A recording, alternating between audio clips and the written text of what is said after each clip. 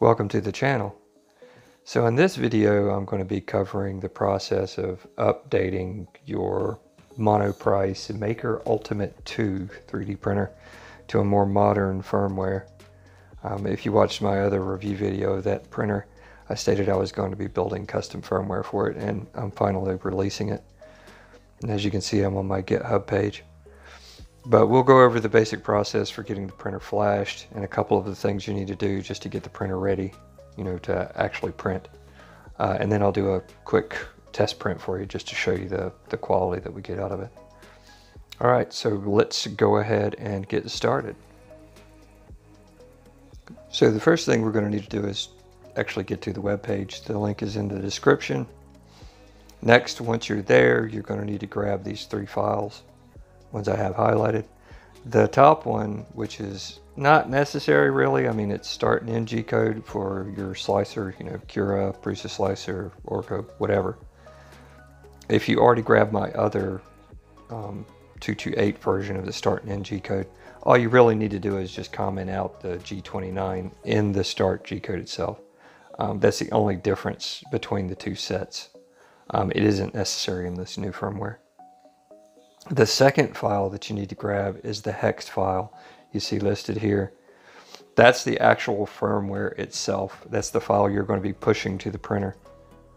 And then lastly, you need to grab this zip file, which actually comes from Weedo. Uh, it's the firmware pusher that they have. Unzip it, in there there's an exe file you need to execute.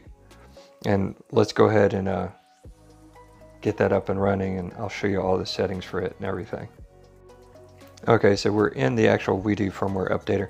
Now you should have your computer plugged into your printer at this point. If you don't, stop, plug your printer in um, using the USB cable that they gave you. This won't work without you doing that. Next, you're going to need to open the hex file that you downloaded from my GitHub. You can see it highlighted here. Now, my locations might be different from your location. It probably will be, but you need to set it and open that file. Next, you need to make sure that you have the 62B highlighted for the type. Lastly, you need to set your COM port. If your COM port isn't listed, just hit the refresh and then you should see one listed in there like you see mine's on COM6. Finally, you're going to hit the update and this is going to actually push to your printer. This might take a little while for it to actually go through and I'll show you um, what the actual printer would be doing at this point because the printer screen, you know, again, the printer needs to be on for this to work. The printer screen should go completely blue. And then you're not going to see anything again until it's actually finished and then you'll see the Marlin screen show up. But we'll go ahead and we'll let this finish through. Just takes a couple of seconds. And then once it finishes, like I said, I'll show you what you'll see on the actual screen of the printer. So it's just doing a verification that everything pushed the way it was supposed to. And that's that.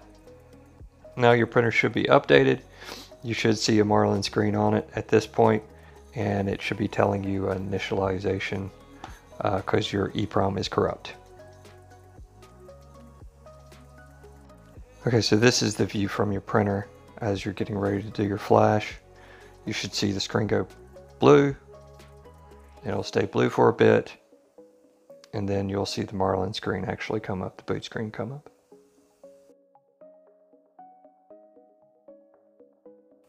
So the first time you do this, you're going to get this screen here. If you flash it again, you might not see it, but the first time you will. You just want to say reset. That's going to set all of your EEPROM values to the defaults.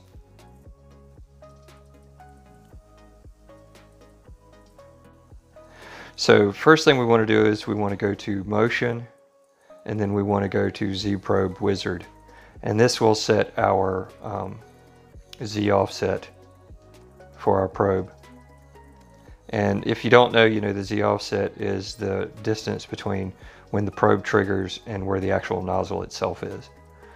And it's very important that we set this. Um, this firmware does things a little bit differently than the 228 does. So we're always going to use the probe as our end stop for our Z. So the you know Z end stop that's at the bottom of the printer uh, that that won't be used anymore. I mean it, it's still used. It, will stop it if it gets to it, but from now on, you know uh, that end stop is our Z max. Our Z min is going to go by the probe as it should have been. But anyway, come in here, you know, make your adjustments, um, check to make sure that you know your nozzle is at the proper height, um, and then save it and store it. And I will show you the printer view, you know, as I'm going through this and moving the um, nozzle down closer towards the bed. So this is the view from the printer as I was manipulating the screen over there. The homing system is a little different now um, in this firmware. It's going to home to the probe, you know, like, like any probe-based system would normally do. Once we do that, then it'll move the nozzle to the middle. And then from here, we're going to adjust our um, offset. Now for me, I, I use a feeler gauge. I don't like using uh, paper because you know paper comes in various thicknesses. But you know anyway I use a feeler gauge. This one's a 0.1 millimeter feeler gauge um, and you want the nozzle to just barely touch it you know just the slightest drag that's on it. Um, I find that normally gets me exactly where I need to be. Now keep in mind that you know this is really a starting point for setting your Z offset. Um, you're going to need to do some fine adjustments afterwards, you know, and you can really only do that by doing a test print. You know, whatever your uh, thickness is, your line height is set to, um, like I use point uh, 0.28. You need to print a single layer that, that is that height and then look at it and gauge you know, whether or not it has the right amount of squish or not. Um, I'm really not going to go into setting your first layer in this one. Um, that can be, you know, kind of a lengthy process. Maybe I'll do a video later. But anyway, just this will get you close. Okay, so now that our offset is taken care of, we want to go back to motion. Then we want to go to bed leveling. And then we want to go to level bed. And this will kick off the probing process to build our mesh. Now, um, the Monoprice firmware 228 was using bilinear um, bed leveling. I'm also using bilinear bed leveling in this version. The only real difference is that they were doing a three point bed mesh, whereas I'm doing a nine point bed mesh. So the mesh should be bigger and it should be more accurate. Um, now I do have um, auto leveling turned on always. So, you know, it doesn't matter you do a G28 or not, it's going to re-enable bed leveling after it homes. This is why you no longer need that G29 um, in the start G code. So there's no point to probing this bed every time you print. Anyway, as you can see on the screen, we're going through, it'll show you, you know, this is how many points we've done, so forth and so on.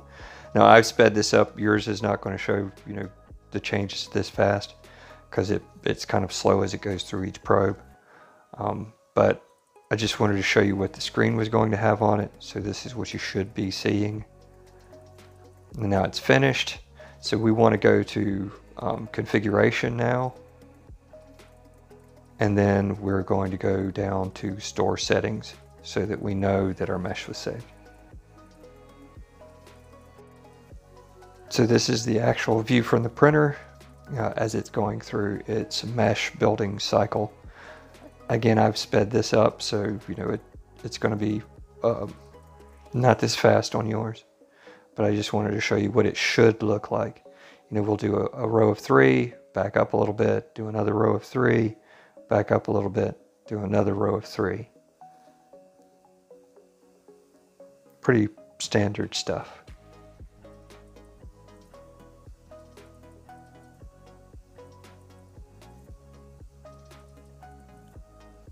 Now that it's finished, we'll go ahead and move on to our next two items. All right, so now we've got two more things to do, then we can print some stuff. So let's go to configuration, then advanced settings. Then we're going to go down to temperature. And we're going to PID tune E1. There we go. And set this to whatever temperature you normally print at. I'm going to use 200 here. So that's what I use for PLA. And then press in the dial. And then it'll start heating up. And you know, I've I've sped this up for you because it's going to take a little bit for this to happen. And you'll see all kinds of you know ups and downs on the temperature for the nozzle. But it's really important to do this, and the most important reason for it is that you will speed up how quickly um, your nozzle gets to temperature and how easily it can stay at that temperature. So it's really important to do this PID tune. Now, again, anytime you make changes to the printer, or if you're going to start using a different media, like say you wanted to do ABS, you're going to come back here and do this PID tune again. Because, you know, it's only good for a specific temperature. And again, like I said, I, I did 200. But once that's done, then we're going to move on to the next one, which would be our bed. Okay, so our last bit we need to do here, let's go back to configuration, then advanced settings, and then down to temperature. And then we are going to PID auto tune bed. I'm just going to use 50 here because that's what I normally do PLA at. And, you know, again, I've sped this up. Yours won't be going this fast. But uh, like I said before, it's important to do this because it helps you reach temperature faster, but it also helps the system maintain that temperature. And also, like I said, for the hot end, anytime you make any type of changes uh, you know, to the bed, you know, say you put a different surface on there or, or anything like that, any type of change, then you need to come in here and run this PID tune again. Um, you know, if you go to ABS, I'm going to be printing a lot of ABS with this printer. Uh, that's why I bought it. Um, you know, I'll be printing at 100 degrees versus 50 degrees. So I'll come back in here and I'll PID tune for that 100 degrees. But, you know, again, just keep that in mind anytime you make changes or your new default, your new standard, you know, what you're going to be printing the most at is what you want to PID tune for. Now, if as long as you're using 50 degrees or you're using 100 degrees, whatever you PID tune for, you don't need to run it again. But we'll go ahead and let this finish up.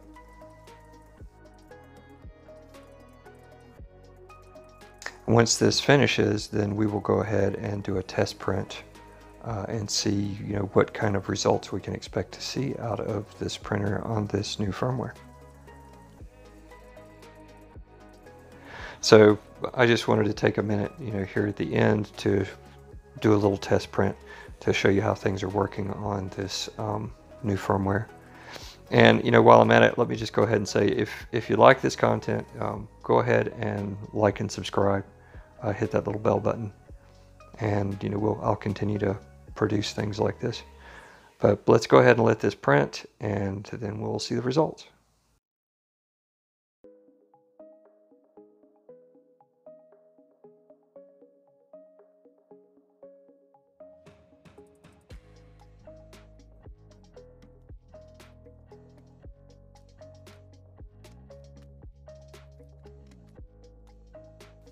Okay, so let's see what we got here. And like always, we are just super glued to this bed. My adhesion is just fantastic on this printer. It's a little too fantastic, to be honest. Um, if any of you have found a better solution, um, aside just using glue and the glass, uh, please let me know. Leave a comment. Let me know what you're doing. Um, I mean, the tape works. The tape works great. It just works a little too well, to be honest. But if I get it under there, then I can kind of pry it up a bit.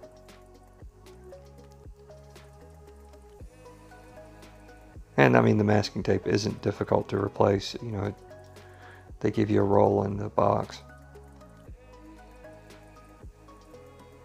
We might get lucky getting this one off. Without it ripping, we'll see. And nope, there it ripped. That's okay. Like I said, it's easy to fix it. Just replace that bit of tape. Anyway, so this is a nice little print. It's a mini printer test off of printables. I think the guy won an award for it. It's fantastic little print. Shows you all the stuff that your printer can do. And as you can see, it's it's perfect. I mean, there's absolutely nothing wrong here. Um, you can see all of the fine details. There's zero stringing. Your bridges are the way they're supposed to be. Uh, everything, you know, everything looks just exactly as it's supposed to. It's fantastic. You can see even a little hole there. But I hope you enjoyed this. Um, let me know in the comments how you make out.